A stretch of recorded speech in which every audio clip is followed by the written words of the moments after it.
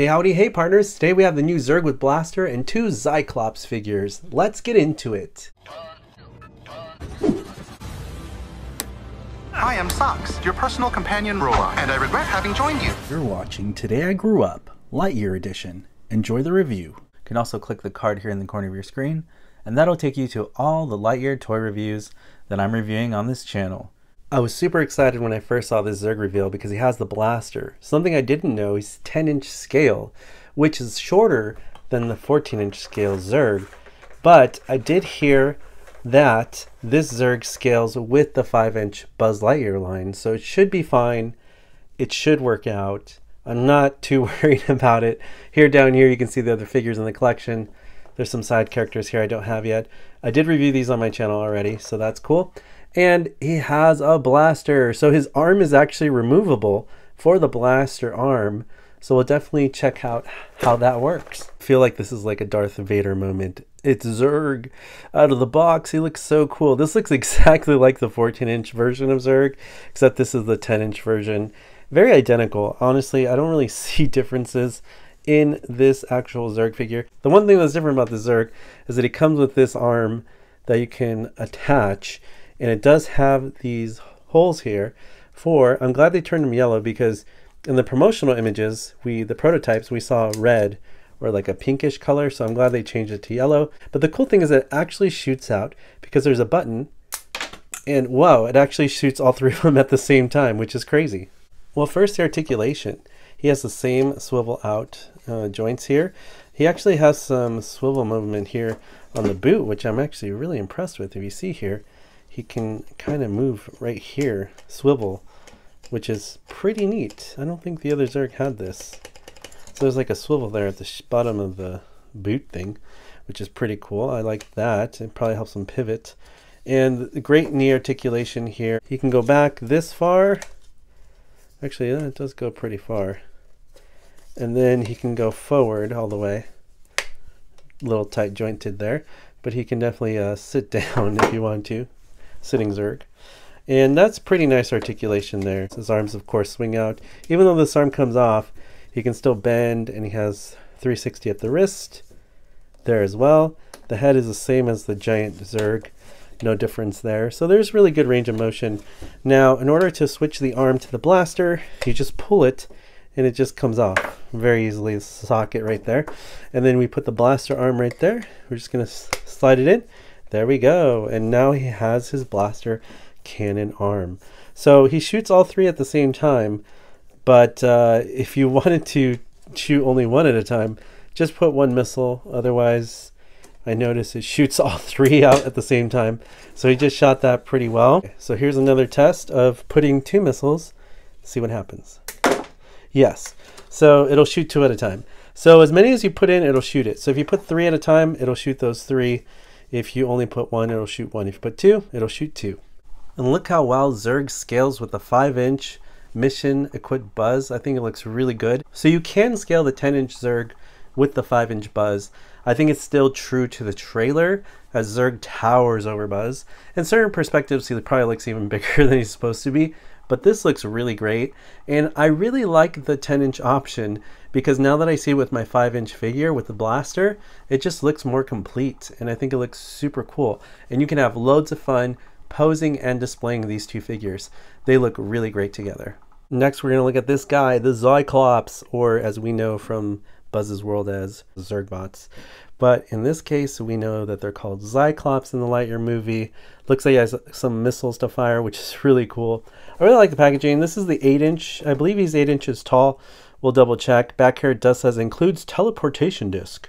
So this may be a spoiler to time travel in the movie. We don't know yet. And obviously there's a way to blast those missiles. I can't wait to get this out. Wow, this thing is super cool. I believe this is designed to come with your other mission buzz. I think it's scaled 8 inch with the 5 inch. I think that is a good scale because when I went to the store, the wave came together in one box from Mattel. So it makes me think that these two belong together for scaling. As you can see, they, they do work. And I think that looks really nice. And I love this Zyclops figure. It is super cool. It's loads of articulation for such a tiny action figure. His head actually moves side to side. I wish it was a real light in his eyeball like the movie, but that might be asking too much because this toy is not that expensive. I think I paid um, $13 for it or $14 for it. Not too expensive. And I was able to move it back there, and then his arms swing out, which is really nice. It's got the in and out, forward and back as well, which is pretty nice up to there. He has a missile ready to launch there. This one is cool because it kind of looks like you you could fire a laser or something out of there, even though it doesn't do anything. Very nice. Also has really nice waist articulation. So he can go, whoops, there goes the teleportation disc. He can go 360 there. As you can see, the feature already accidentally launched right there. So if you zoom in here, this is supposedly the teleportation disc. So in the movie, teleport. it's a little anticlimactic, obviously, but you know what? It's still a fun gimmick. And in the movie, I'm sure it does something cooler than that. I'm sure it opens some kind of like portal or something, time jump, teleportation initiated. Sorry, I'm having way too much fun with this feature. I think it's really fun, and I actually don't mind that. It doesn't really do anything but fall off of his body. And then the legs go forward and they go, wow, this one goes 360, which is impressive. The other ones don't do that. Goes all the way back, all the way forward. He has great knee joint articulation. I don't think he has any rotation here. Let's see if, yeah, there's a, yeah, there's a rocker kind of. So it does kind of rock side to side, but not much. But at least you have something there. So you can probably get this guy in some crazy dynamic poses and I think it looks awesome. And of course, he's got his little missile fire feature. So if you press the trigger button on his arm, wow, actually shoots really far. And it came with two missiles. So in case you lose one and you, or you want to do a quick load, quick load, reload, there you go. You just reloaded that missile and you can fire another one, which is really great. It reminds me of the Zurg um, blaster missiles, but they're just red. And it's cool because it matches this Zyclops figure. Let me know in the comment section below. What do you think of the 8-inch version? Do you think it scales well with the Buzz for 5-inch? I think it looks great together. And here it is, the big one. This is the 12-inch scale Zyclops figure, which is basically a giant version of what we just reviewed for the 8-inch. Pretty cool. I didn't even know they were going to make a larger scale Zyclops but I approve. It looks really cool. And of course, here's the other ones you can collect, which you already have. Very excited. This is the 12 inch, so it's going to go with your 12 inch. It's a big one. I wish they could have put a big uh, missile firing action.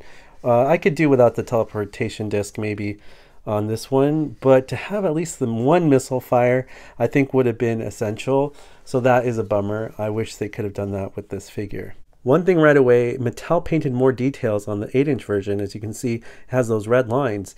And these red lines are missing. So that is kind of a bummer. So you kind of have an upgrade with the smaller one. If you're going to army build these, I would get the smaller ones because even the Z on the back there is painted. And if we turn this one around, it's missing. No. I like details like that. And the fact that this one even has the gray paint there behind the kneecaps this one's totally missing that detail. So this is a paint downgrade, but you get an upgrade in size, but you're missing a lot of features, especially like that Z would have been really nice to have on the giant version. So that's something to keep in mind when you pick this guy up. The only issue I have with this is that he's great for size, but he's lacking in action features and painting details. So let's see if he has articulation up here. He does have that side to side, which I do like so at least you have some articulation on this figure and it's just, just a static statue. I do like that, that you can move his head, although it's kind of hard to do sometimes.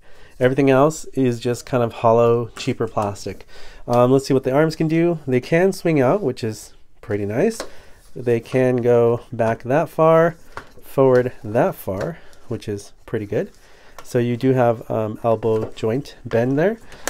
It doesn't really go farther than that behind him, which is not a problem. It's far back enough. So he does have that going for him. I think that's really good. Legs wise, let's see if he can go back. He goes back really far, which is cool because I feel like some of the other figures don't do that. So he can go back super far, which is really cool. So that's nice. We do have some knee joint articulation there. And he can also sit down. So you can have all of these guys sitting on your shelf if they're too tall for you. Yeah, 12 inch scale is definitely bigger. And let's see if the legs swing out. The legs don't really swing out at all, um, but they do hinge out like that. So you do can he can almost do the split, which is actually pretty impressive. And let's see. Mine doesn't have any waist articulation. I don't want to force it, but his waist articulation doesn't work on mine. Sometimes maybe the joints are stiff, but it sounds like I would break it, so I don't want to force it. That basically covers his articulation. I think it's a solid figure. What does it really scale with? I mean, I guess it could scale with your 5 inch Buzz as well. Now we're going to have to watch the movie to figure out the scaling of these figures, but as of right now, it looks like the 8 inch is going to be closer to the size against Buzz. This is going to be a little bit too big for Buzz, but you never know. Maybe they have giant Zyclops sizes that are different. We have to watch the movie first. For now, I think it's still a great display piece, and I'm going to line up the Zurgs next to these so you can see more. So here we have 14 inch Zurg next to the 12 inch Zyclops, next to the 10 inch Zurg with Blaster, next to the 8 inch Zyclops, and the 5 inch Buzz. And back here is the 12 inch scale Buzz Ranger Alpha suit, so you can see the comparison of size between all these figures and your options that you have for your figures. What's the best for you? I don't know. I like collecting all of them to have variety and to see what I can do with my displays later on.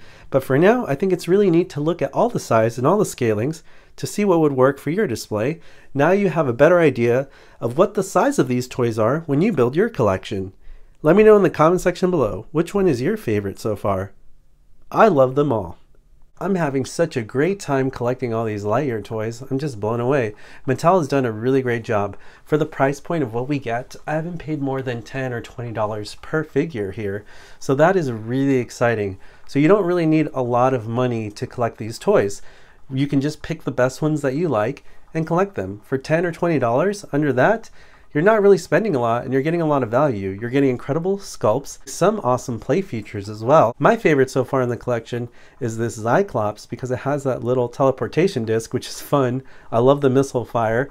I really love Zurg with the blaster and the fact that you can blast three at a time, two at a time, or one at a time. It's very versatile. I really like that. It displays really great with the 5 inch buzz. I'm still confused with 14 inch Zurg, and you have, you know, 12 inch Zyclops and 12 inch buzz those don't really scale together in my opinion. But if you do have the little action figures like the 5 inch buzzes, then I could see them making more sense for scale for at least the villains. So let me know in the comment section below, which toys do you want to collect? What do you think of this collection so far? I'm super excited to toy hunt more. I got more Lightyear toy reviews coming this week. You don't want to miss out. We're almost to 100,000 subs on this channel for the epic 100k toy giveaway. You don't want to miss out. All you have to do is hit that subscribe button hit that notification bell so you're alerted for future videos on this channel, and I'll see you partners on the next video review. You weren't the real Buzz Lightyear, you're, a, uh, you're an action figure! You are a sad, sad, sad, sad, strange little man. You are a sad, sad, sad, sad, strange little man. You are a child's plaything! Hey, Hamm, look, I'm Picasso. I don't get it.